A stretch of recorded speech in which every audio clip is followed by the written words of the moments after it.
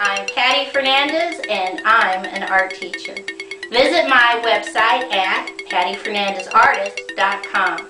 Okay, let's draw.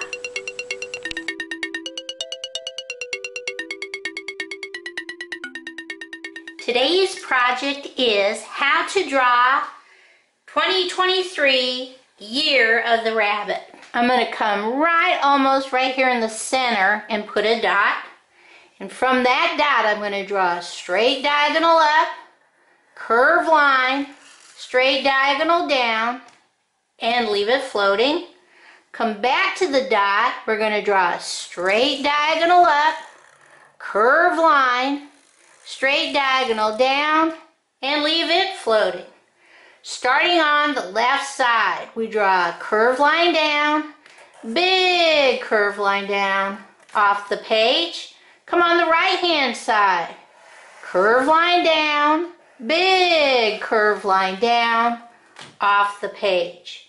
Right here in the center, I'm going to draw a baby circle and I draw a slightly curved line up, curved line down, curved line in, connect, on the right, slightly curved line up, down, in, connect on the left. Right here in the center towards the top, I'm going to draw another baby circle. I'm going to come up and put one dot on the left, one dot on the right.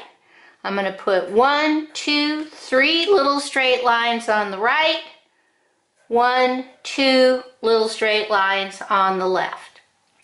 I come all the way down and I'm going to draw two, zero, two, three. 2023 and on the right hand side up here I'm going to write year of the rabbit. Year of the rabbit. Chinese New Year. Now, usually I do the background at the very um, at the very end, but this is all going to be filled in with little black dots. So I'm going to go ahead and do that now because there really isn't all that much coloring to be done. So fill in your dots. I know it takes a while, but you can do it. Bring it all the way down, over, Fill in your dots, left and right. Try and keep them even. And what I like to do is I go ahead and I'll do my first set of dots. And then I stop and I look and I see if there's any places like right here and here that could use a dot or maybe here or here that could use a dot.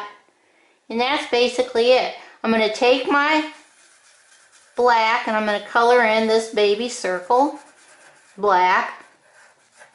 And then the only pop of color that I'm going to use is my red. So let's see how we're going to color this in. Okay, usually we have a whole bunch of things to color, but this time all I'm coloring is this space red and I'm coloring it dark because it's my only pop of color.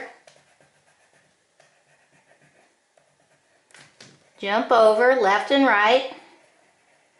Okay. And that basically is it. 2023, Year of the Rabbit. Okay, let's see what this looks like all colored in.